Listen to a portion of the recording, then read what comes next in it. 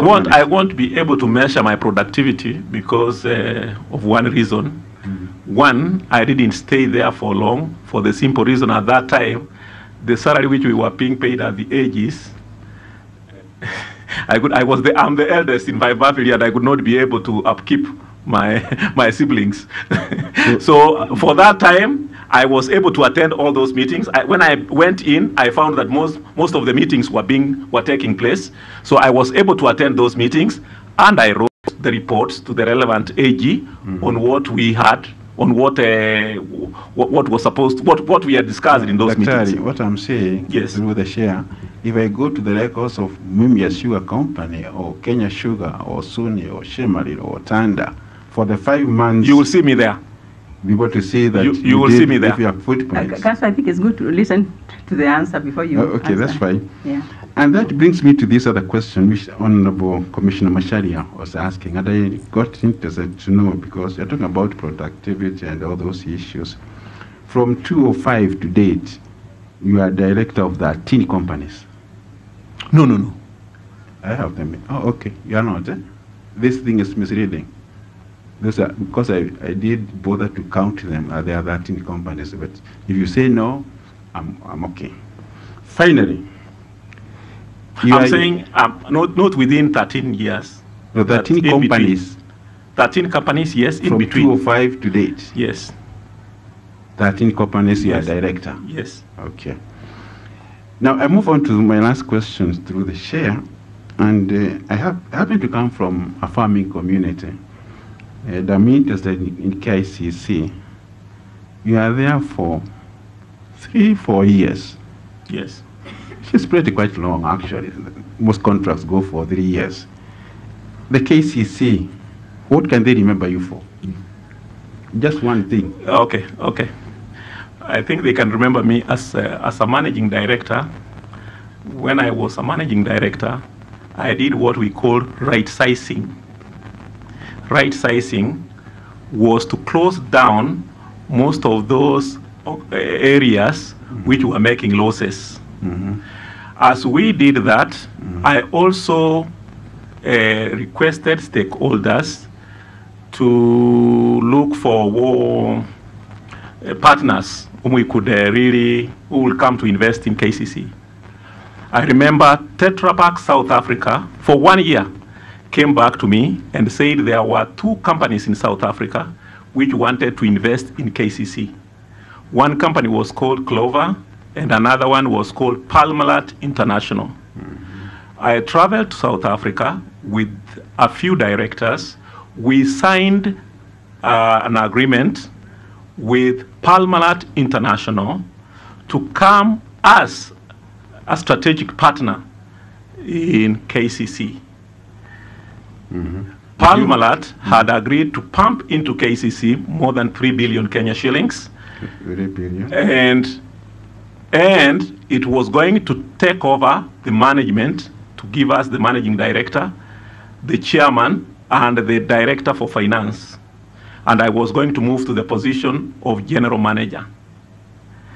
Immediate that time, when people learned that Parmalat, we had signed an agreement, they came in and said, we cannot give you, we cannot allow South African companies to come and run our Okay. company. Thank you, Chair. Thank you, Dr. Yes. Okay, um, thank you very much, Commissioner Gichohi. Uh, now is the turn for Com- Commissioner Koskei. Thank you, Chair. Uh, Good afternoon, Wakili. Thank you. Good afternoon, sir. Um, I've gone through your bundle of documents and uh, in your CV and all the things that you've done, and you, you are widely read. You you have worked internationally.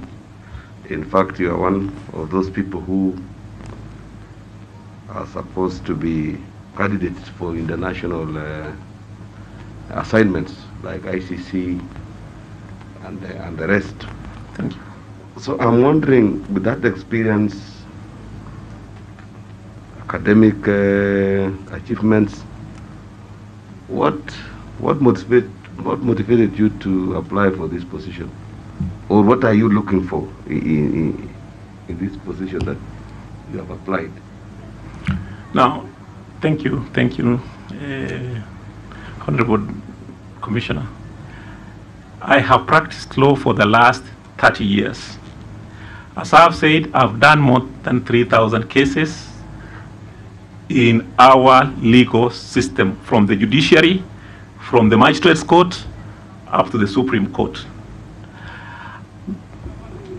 Through God's grace, I was able to do cases at the International Criminal Tribunal for Rwanda in Arusha, for both at the at Arusha and at the at the appeals chamber at the Hague. Uh, I have been able, uh, Honorable Commissioner, uh, to be a member. Again, I want to indicate there, I'm a member of several international organizations which deal with legal issues. And one of those organizations is the International Association for Researchers and Lecturers on, uh, on, on, on, on intellectual property law, which organization is a very active organization. We meet annually in one of the universities to deliberate on new issues of law. I'm a member of the Commonwealth. Okay, I want to to understand. You know, I want to see whether you you saw a gap in Supreme Court or Yes. judiciary, Yes, and that gap can Yes. be suitably be filled by yourself. yes. Uh, you know, because of the competences that you are bringing in. So, what are what what is the gap, or what are the challenges that you are seeing that judiciary or Supreme Court is going through that the competences that you are bringing in will, will sort it out. Thank you. the- and, and let us uh, focus on that so that Yes, we can so, move so- very fast. I, I was trying to build my competency. Yes, yes, yes. I was trying to say, having gone all these places, I was convinced that I have something which I need to bring to the judiciary in Kenya. And that is really what made me uh, uh, to apply for this job. I feel I'm qualified. I have had enough, enough international exposure. I have been able to, to correlate various issues which maybe are not applicable in our judiciary. And having seen all these problems for the last 30 years, not problems, challenges affecting our judiciary, I said I need to come in and play a key role, play my part, a small part in improving our judiciary. Okay, in your tour of duty um, outside this country, and uh, also being a practitioner here, uh, you must have realized that in businesses like contracts, like international investors, and even those who come to work like contractors and the rest, they always try their best to avoid court system in Kenya. If you look at their contracts, they always refer to arbitration in London, New York, Hong Kong, Beijing, and other jurisdictions. Well, why, why, why do you think this is so? And uh, what are you bringing in to sort out uh, this issue so that the investors will have confidence in judiciary and, and thereby, you know, uh, you know, help us to, to, to, to build our economy and, uh, you know, reduce unemployment rate that we have? Honorable Commissioner, that's a great question.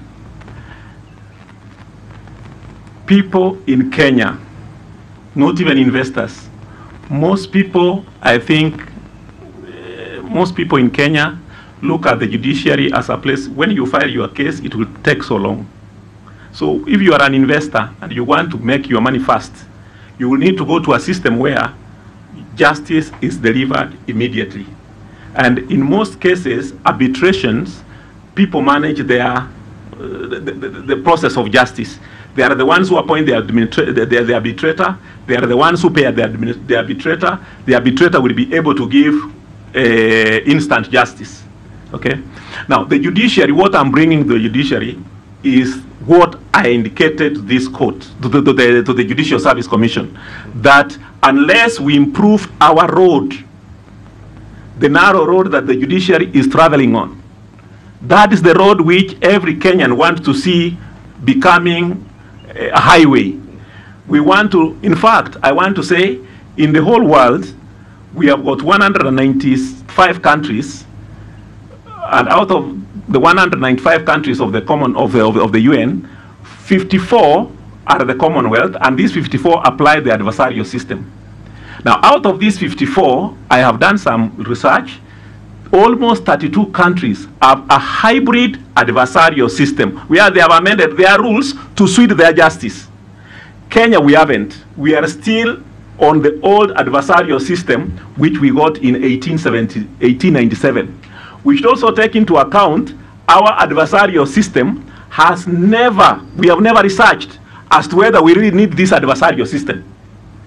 Okay? So nobody, you know, I, I like politicians because politicians in 1962 they said we want uh, a federal government. In 1966 they said we want a unitary government. In uh, 2010 they said no, we want even a, a, a, a presidential government. So in others, in other, in other arms of government, there have been changes. In our judiciary, we now have that one small thing which we need to change. Interrogate ourselves and say, are these rules working for us? It's my submission before this commission that we need to change our rules. And if we change our rules, we'll make the judiciary the best place to practice. Justice must be done instantly. Advocates out here, we have cases which we want to be determined tomorrow. I will want to file a case and even ask the judge that please by tomorrow give us an order. Maybe a case of where a client is being evicted from a residence. Such cases should not take five years. Such case should take 14 days. So my, my, my position is what I'm bringing in the judiciary is the experience that I have had in other jurisdictions, which informed me to suggest for you the six uh, strategies that the judiciary will take. Thank you. Um, this is now a follow-up uh, question. When you are responding to the chair, you explained and said corruption in judiciary is not systemic. What is it? Wonderful. When a problem is systemic, it means that problem is eating into the organization. You cannot do away with it. You have to look at it. Now, in my research, when I looked at the problems affecting the judiciary, case backlog, corruption, okay, all these problems, these problems are effects of a specific cause. For instance, let's talk of malaria. When you have malaria, you have a headache. When you have malaria, you have no appetite. When you have malaria, you have pain, you have, you, you have fever. My position is, and that is true, and, and I want to converse, it is a reality. Unless you remove malaria, the headache will still go on. In our position at the judiciary, the headache which we have is corruption. Backlog of cases is fever. Lack of appetite is the loss of files. If we, if you treat, even if you take a ton of Panadols every day to kill what corruption, I can tell you, Honorable Commissioner, that headache will still be there. Okay, Let's deal on- with the problem. yes, on and the problem is Yes. the rules. Yes, on Yes. corruption still, eh? you also mentioned that uh, when you arrive here, in six months, corruption will vanish. How will you deal with it? Now, now, And can you and be clear? Let let us be clear. Yes, yes, Narrow yes, yes. if I were Chief Justice, I could be able to implement that. But there will be rebels because not everybody will want to take that. And that's why I did not want to apply for that position. Because if you bring serious changes in an organization, there is what we call organizational politics. An organization usually behaves in a certain manner. If you are a foreigner, you want to go to that organization, you bring serious, serious changes studies have shown employees rebel. Okay? But if you are part and parcel of that organization and you are able to show people why they need to change, people will change. So, what I'm only saying, if the Honorable Deputy Chief Justice was here and he takes up that, I can tell you she will make a name for herself in the next three months. that she has reduced corruption, if she is able to appoint a committee which can harmonize all the practice rules from the magistrate court to the court of appeal. For, I want to say, and Honorable Commissioner Warsame will bear with me witness, in the court of appeal, we are always, when filing an appeal, we are always interested in form. Can that, in fact, I, my suggestion is, can that form of filing cases in the Court of Appeal be applied in all other courts? Such that when a file moves from the High Court to the Court of Appeal, we are not interested on form. We are not interested on justice. If you look at the practice rules for the Court of Appeal, the High Court, and the Supreme Court, they are talking of which man, how you need to file your documents, how you need to underline them. What I'm now trying to say, can that be history? So that when somebody comes to court, his documents were already filed in that format. Okay, uh, thank you. Um, another follow-up question is on uh, when you are responding to Commissioner Macharia. He asked you whether you have interacted before with JSC. And uh, did I hear no? Yes. You've not appeared before I've not applied for- any position. No. Our record states that you've applied for tribunals. Ah, the tri- oh yes, tribunals. No, I was thinking of a judge. Uh-huh. I applied as a, uh, I was interviewed, but I thought the, the way the interview was, I, I, I applied How for a, a position of a, a, a chairman of a tribunal, Uh-huh. and uh, Okay, I did not get it. okay. Yes. So my So final, that was uh, long time. my final question is, uh, have you ever filed for any political position? Uh, indeed. When was it? And uh, you did not indicate in your CV that. Now, why did it indicate? Because I didn't win. So I said these are trials which you try and you don't win. If you don't win, it doesn't come part of you. Yes. Yes, it's like uh, putting the in my. If I'm not appointed judge of the Supreme Court, I'll not put it in my CV.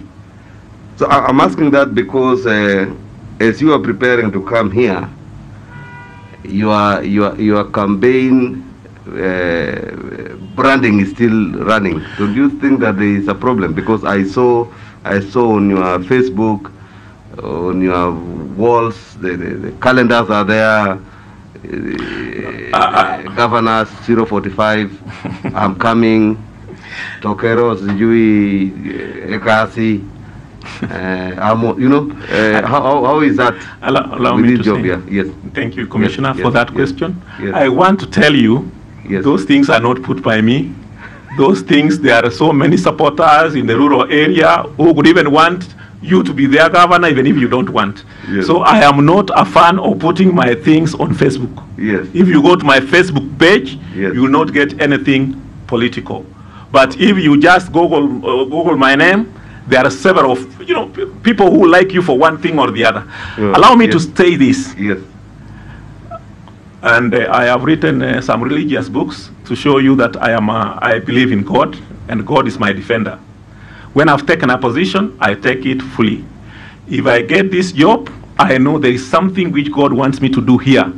And that is ensure that justice reaches the poor person in my backyard in Kisii. I want somebody to enjoy services of the judiciary. The judiciary, people should love the judiciary. The way people love to running to achieve, it is important for also people to say, I want today to go to court because somebody has abused me.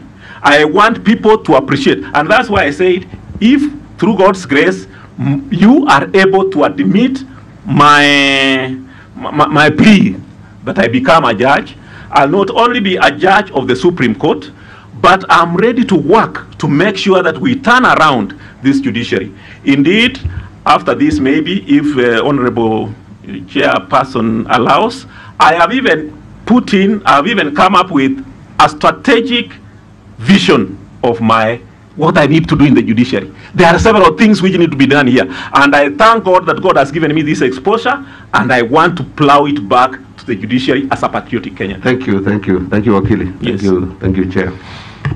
Okay, Council, before I, I go to our last uh, um, uh, Commissioner, to ask you questions. Let me just clarify something. Yes, please. Because the st- one, of, one of the strategies you gave us was right sizing.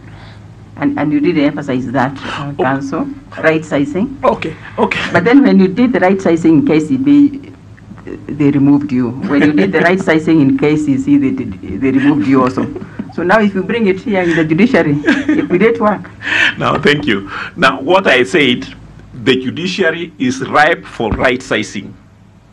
Okay? Now, what I want to say here, Honorable Chairperson, is that if the judiciary implements this system of making sure that justice travels on a smooth line, that cases are smooth. Now the judiciary can go back because in your strategy, you have said some of your strategies is to employ like now. I, I saw the strategy for which is current. The judiciary wants to employ 201 judges. Now, when you have come up with a streamlined uh, roadmap, there will be right sizing. Will what right sizing means? You will want to question yourself: Do we really need the 201 judges? That, that's all. I think I understand that. I was And my submission is Yes. you may not need them. And um, I I was just So- concerned, um, Council, Yes. is do you think there's a problem of, of a problem of change management? Because even that needs uh, strategy how to change. because because I also don't agree with you that uh, as long as you are an outsider, you, you cannot do it. You know. So is no, it, it, it is a think- problem. Indeed, I agree. It's a problem of change management. Yes. It's a problem of uh, organizational politics. It's a, a problem of uh, organizational culture. So when you come into organiza- an, an, an organization, for instance, when the chief justice comes in, for in, uh, good luck for us, he has been uh, a judge for 18 years. So she will know who are the best person to, to carry her along. But if Mr. Nyaberi came in, I don't know anybody. If I want to implement this strategy, I might say, let's implement. Maybe Honorable Commissioner uh, Evelyn, can you assist me on this? But maybe, you know, there, there are those challenges. But, but, but Council, I thought that is why you said you applied for this job, so you can bring something new. Now, I applied for this job so Yes. that I can give in the information, so that this information, um, I want to deliver my information. And when I'm in, it will be easier for me to manage my information. People will respect it. If you talk from outside, people will, uh, will say, Who is he? Who is he after all? We have not ever worked here. So, but when you are in the judiciary, you can be able to convince your fellow members in a quiet way, in a nice way, in conferences, they can give you an audience and say, Ms. Nyaberi, come and make a presentation. I can do that presentation. And through that, they will be convinced and say, let's, let's try, let's try. And in trying, we have already made it in the judiciary. Okay, thank you very much, Council. Honorable Evelyn, please go ahead. Thank you very much, Chair. Uh, good afternoon, Wakili. Good afternoon, madam. I was uh, skimming through your book, Yes. Sexual Offenses and Offenses Against Morality. Yes, please. And I looked at the paragraphs where you handled homosexuality. Yes. I was hoping to get some insights into your thinking about the subject. Basically, I saw uh, you basically explained the law and gave a digest of a case or two. But I would still want to get behind your head on that issue. Okay. Uh, Now- do you have any acquaintances who belong to the LGBTQI community? Now, let me answer by saying I'm a Christian. I wrote that book because I'm a lecturer. I need to show the students what is the law, what is the position. I'm not even questioning why you wrote But my position is I don't subscribe. You do not have. Uh, my question was, do you have friends No, or acquaintances who belong to that community? I don't. Uh, have you engaged with them so as to know what challenges they face in our community? I, uh, okay, allow me to say when I was taking my PhD at Copenhagen, the students whom I was teaching, that was a way of life. So uh, you, you, you, you, you just take them the way they are because in their community that's what they understand. But uh, in my local setting, I think I don't, I've not gotten in touch with anybody who is in that uh, category. I'm not uh, aware how it is in Copenhagen and whatever challenges they may be facing. So you do not know about the Kenyan situation? No, I don't know the Kenyan You do not know situation. the Kenyan situation? Yes, yes. Okay, I want to just read, read you something I came across as Yes. I was reading some of those cases that dealt with the LGBT, uh, or rather gay and lesbians. Yes. Gay sex is not a disorder or illness or an abnormal act. It is simply a variant of human sexual behavior determined by psychological, uh, sorry, physiological, biological, and social factors which essentially ought not to be criminalized. Now maybe you can tell us what your- views are very- concerning that. That's statement. very true. That's very true. I want to say most people who are in that position, they suffer some uh, some psychological problems. For me, that's how I look at it. The, It's pa- not. the passage says it's not a problem. It's not a mental disorder or a mental illness. It is something that comes out of your physiological, your physical build. Uh, allow me to say the, level of sanity differs from one person to another. You know, people may not know that that's a problem until they confront that it's really a problem. The way I look at it in our African setting, it's a problem, and those people need to be treated. They need to be advised if they are ready to be advised.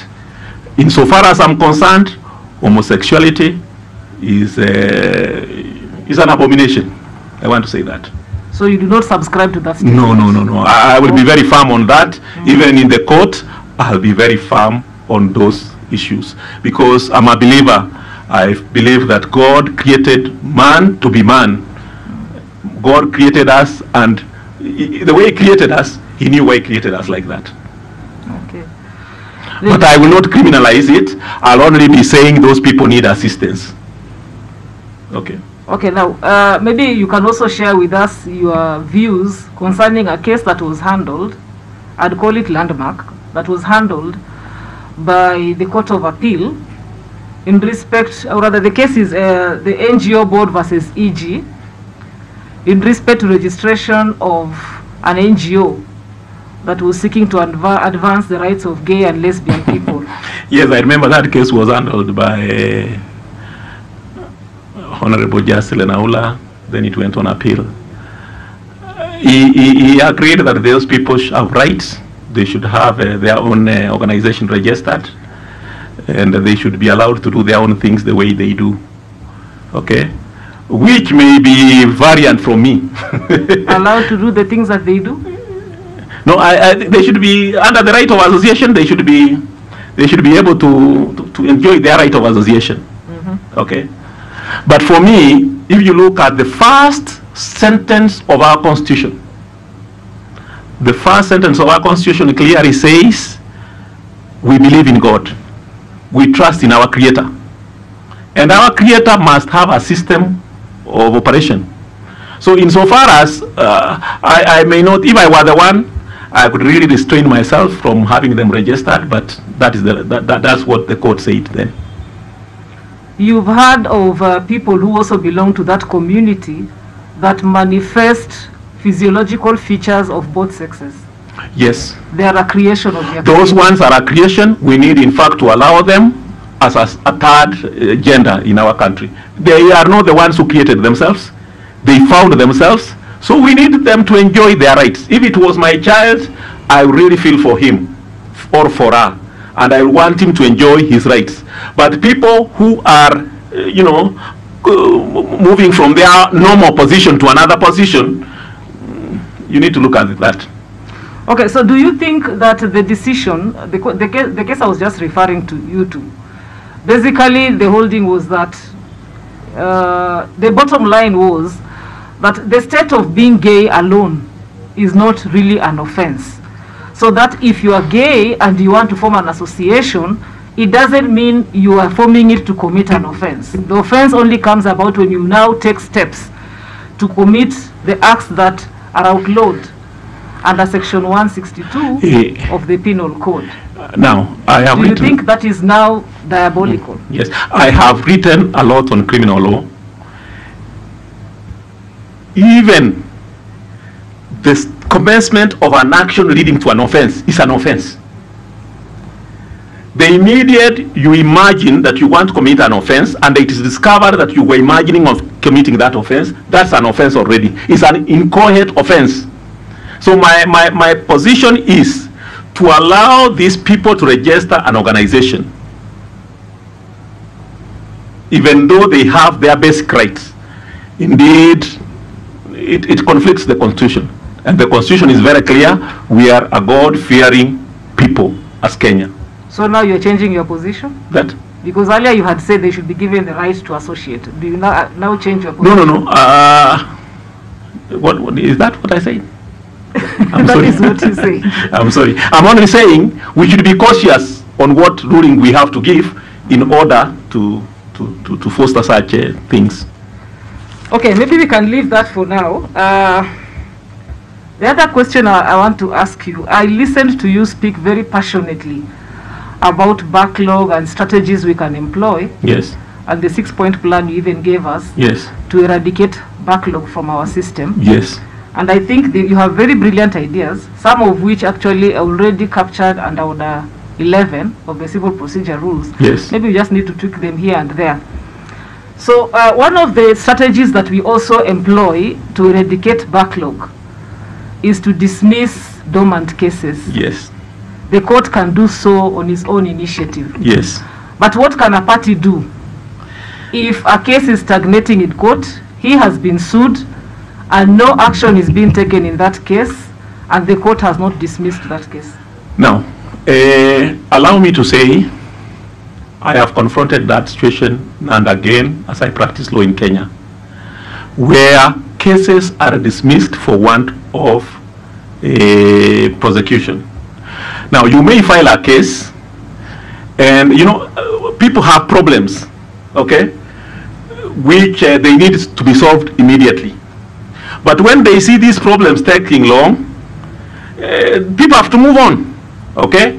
Now, the, the, what I could want uh, the court to do, this issue of dismissing cases only arises because our system of justice takes long. If these cases were heard immediately, then you would be able to sort out problems. So I, I, I want to say this is a, a reactive strategy to, re- to, to, to, to, to, to, to do away with cases, Which is still a strategy. which is a strategy, And but it it's works. not a good strategy. Okay. It's not a good strategy because dismissing some of these cases, you have not solved people's problems. Okay? You have not solved the actual problem. But imagine if this case was heard within 30 days and the judgment was given within 30 days, you could have sorted people's problems. Even if you wrote the judgment based on documents. Because right now everybody knows how to write. People will be able to ventilate their problems on documents. So if you if you are able to give judgment within 30 days, much the better. And even dismiss it at that time because at that time people will show that they have no interest.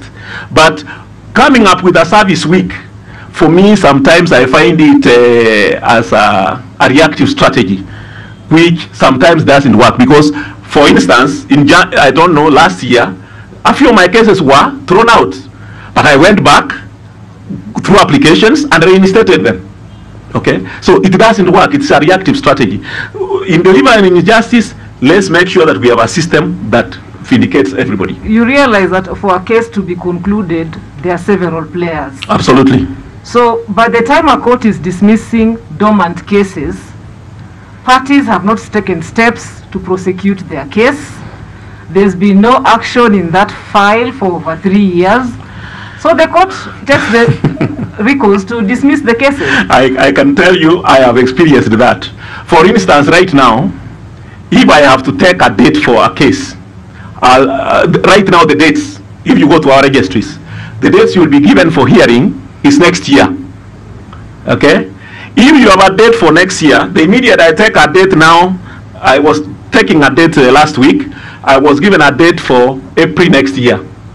Now, imagine between now, I've written a letter to my client because immediately I leave court, I write a letter to my client telling him your case will come in April next year. Which means my client should have a good record to remember that the case is coming. So what you will find is that there is, most people, they don't keep records. Even us, we don't have a diary for next year. So we are, we are using a notebook. So even in our, our management system, it will make most of those cases, the client now next year, if he thinks it, he will forget about it.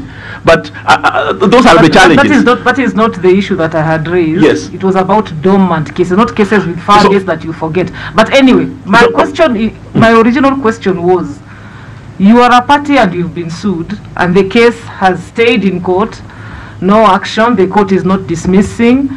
The person who has sued you has not taken any dates. What's your what recourse do you have? Now, the recourse I have, that's what I gave as one of my, my, my strategies. The only recourse which we should have, we should utilize co- the commissioner's oversight to make As a party, you are a party, a party. a you have- defendant. a party you have no recourse because you will be told the date is next year the date is two years you have no you have no recourse there is no justice you just take it up and say oh what could i do so most people who are defenders again. You know when you tell them that cases are not coming up they forget about them. But that does not mean that the issue has vanished. The issue could be there but there are no cases but there are no dates so that's why i was uh, requesting uh, this commissioner because one of your your, your mandate is to ensure that you promote justice and you propose the national government or you come even with bills. If you came up with a bill fast tracking all cases justice is hard. And that is the, the, the, the that that is that's that's really the, the spirit of our constitution. When it says cases must be heard immediately Just must be delivered Wakili, immediately. is it the prerogative of only the plaintiff to fix a matter for hearing? Under the civil procedure rules. no the, the, the defendant can fix the matter. But you see the defendant usually is defending himself. He has nothing to lose if a case is dismissed. Okay That is true. yes so the defendant has no business with the case In the scenario I was giving you, the Yes. case has not been dismissed. The plaintiff has not taken steps, and you are the defendant. So you can't fix the matter for hearing. That is correct? no, no, no. It, it, again, it is a wrong position, but that's what happens. Okay? And again, you find defendants want to utilize that rule that if a case is not fixed for three years, it will be dismissed. So who am I to fix that date when a case is going to be dismissed in any case? The defendant also has the option to apply for its dismissal. Uh, most defendants would not want to do that because, uh, again, it's costly. Maybe their lawyers will tell them for me to put in an application, you need to pay me. So people, people don't want to do that because they don't want to spare, to to spend. Okay, thank you. Yes. Now, I was looking through uh, your vetting documents. Uh, we received a complaint from someone who has sued you Yes. in respect to an accident that happened before I joined Kenya School of Law. Motor vehicle registration number KAH 663 in 1999. You were sued in 1999. Yes. The case is still, the case was concluded. Yes. It's pending appeal. Yes. This case took, because it was concluded in 2019, took 10 years. It's an injury claim. What does that make you feel? Now, that again shows you the system which we need to work on. Because I, as the defendant, I don't need to take a, a date. And that's what I was telling you. I don't need to take a date. You know, the, the way our rules are, okay? The, it is the, is the accused, is the, the plaintiff who was supposed to take a date and ventilate on his cases. Wakili, our rules allow you to take a date. Yes, but, uh, no, no, for that's someone, true. for someone who was speaking very passionately about eradicating backlog, I'm having difficulty reconciling this. No, no, no, no. I'm not the court. I have not sat in the court. If you go to court and you are told the date is next year, what do you do? What do you do? You take the date that's available. next year. You go next year, you are not ready to proceed. It's given another year. You go there next, the other year, the matter is not ready to proceed. It takes another year. What I want to say there, in that case, I, uh, I was, I am the defendant. In fact, let me say, that case was an accident. It was being handled by an insurance company called Lakestar. Lakestar had its own lawyers. Lakestar was supposed to, up- to, to pay. Lakestar collapsed. So the matter then came to me as the defendant. By the time it came to me, it is when I was being served with uh, an attachment. At that stage, I said, I did not, I don't know about the case. To vindicate my rights, I went to court to check and I found I was not served. So when you are not served, what do you do? You apply to court to set aside the judgment, which I did. Okay?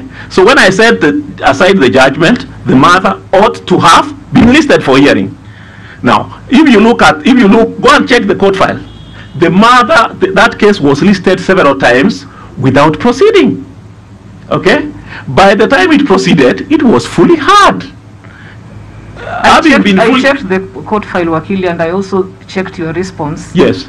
And you yourself said that the plaintiff went to sleep from 2012 to 2016. Yes. And that is why I was asking you, what is your recourse as a defendant? You see, this is a person who has sued me. He has sued me. Okay? And you can even see, even in the first stage, I had deposited money in court. Okay? So having deposited money, it's upon him even to apply to court and have that money released to her. Okay? I cannot go and take a date and say, let me take a date so that this person. So that's why I'm saying we should have strict rules on how justice should be vindicated. I have no role to play in that case. I think I have no blame at all. I have not, I have not been in the court system. I don't take dates. I don't hear matters. I'm just a litigant like any other litigant. I had a lawyer like Litigant- another You're not a litigant like any other litigant. You are a litigant who also happens to be an officer of the court. Yes. And that's why the standard set upon you is slightly higher than a regular litigant. you know, But that- anyway, yes. uh, you have appealed that decision. yes. I just want to hear from you in what circumstances an appellate court would interfere with an award in the lower court. Now uh, that calls me to discuss the matter which is in court. You don't feel comfortable discussing that? I, I the magistrate will hear it It's okay. maybe. It's okay if you don't feel comfortable. yes, I don't feel comfortable. But one thing is very clear. Uh, I, I- think I, I would only summarize it in two ways. In that matter, in that matter, the only person who sued me who had an accident was that lady. Usually in an accident, several there could be several people in a matatu who could who could have been hurt. Okay, so when I looked at the file, I did not have a report. I did not know about the accident. Maybe maybe because uh, Lakestar died, we could not be able to trace the documents. Now look at the contradictory nature of the evidence. I said I must defend myself. I don't mind if the lady is paid. Let her be paid. I don't mind. I've already deposited six hundred thousand in court for me to do to pursue the appeal. So if the court makes a decision that Mr. Nyaberi, this lady has to be paid, so be it. I'm there for justice. Okay, thank you.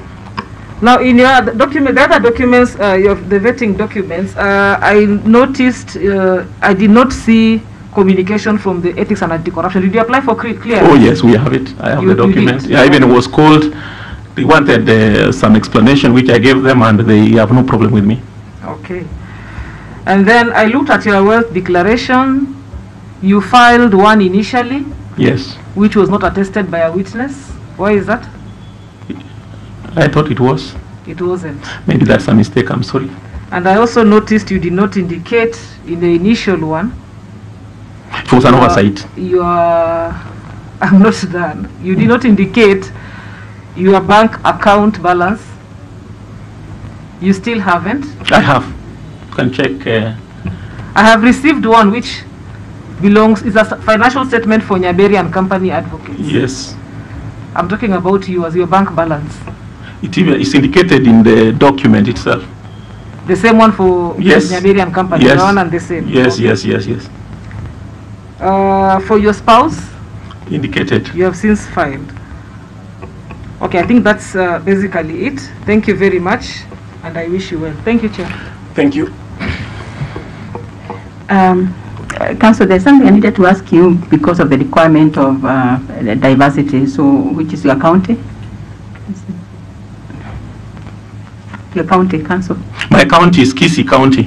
and ethnicity. Yeah. Ethnicity. Um, Omugusi. Okay, Yes. I'm sure you know what you're asking. yes. So this is this brings us to the end of the interview. Uh, Counsel, we want to thank you for coming. And also mentioned that as a commission, we, we would want to have that paper that you talked about, the one that has strategies. I think anything that adds value to the judiciary will, is welcome, Counsel, and we want to thank you. Thank you. Is there anything else you want to add? No, I don't want to add anything. I want to thank you most sincerely for giving me this opportunity uh, to come and uh, appear before you. Uh, I'm very grateful. At least I've been able to communicate my needs, my position in respect of this position of judge of the Supreme Court. And I will only, and I will humbly request that uh, uh, if I am given this job, I will take it as if I'm working for my God. I'll do it diligently, I'll do it in the best way, and I'll add value, and a lot of value, to the judiciary for posterity. Thank you, Counsel. Uh, The commission